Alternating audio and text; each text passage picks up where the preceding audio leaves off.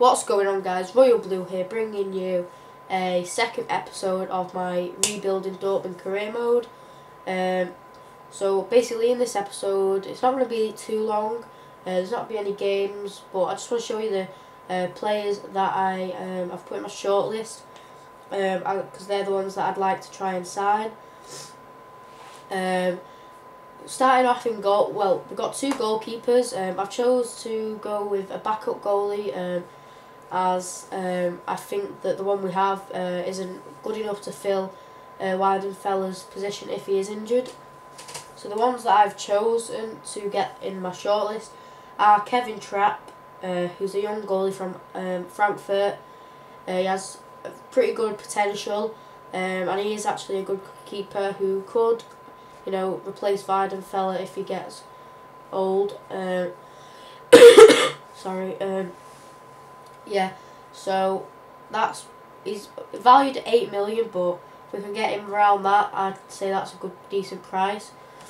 The other uh, player we've gone with is Vicente. Uh, I apologise if I pronounce this wrong. Uh, Guaita. Uh, he's from Getafe, um, and he's 27 years old.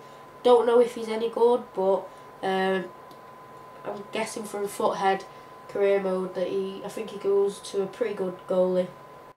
And he's a, a decent age of 27, which is roughly about 13 years um, until he'll be too old.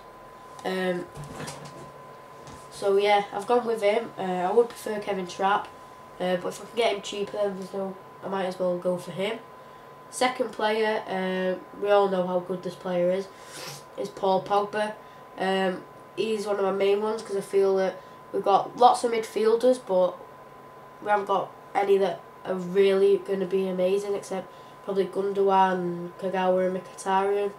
But I reckon Paul Pogba uh, is probably better, and to go with Gundogan would be much better. Valued at eleven and a half million. But he goes for like a, a really high rating, like something ridiculous. I think he'll cost way more than 11 million, but nevertheless. Other midfielder uh, is Christian Eriksen, who is amazing. Um, he goes up a very high rating. Um, young, valued at 12 million, I can see him being a lot more than that. Um, but if I can get him for around that, I would be very happy. Uh, I prefer to go with Paul Pogba, but I haven't used Eriksen within career mode yet. I would like to try that. Um, may go for both, depending on how much they want. Uh, within career mode, I like to have around three stri good strikers. Um, the ones we've got are all a good uh, like um, age, um, but I would like one more uh, to rotate it. And we have looked at Rodrigo, who's young and he goes to an 86 rating, which is very good. Um, so yeah, that's who uh, my other option is. So that's the end of the video, guys. I hope you've enjoyed. That is my shortlist. Um, so yeah, if you did enjoy, please leave a like, comment and subscribe. I'll see you in my next video. Bye.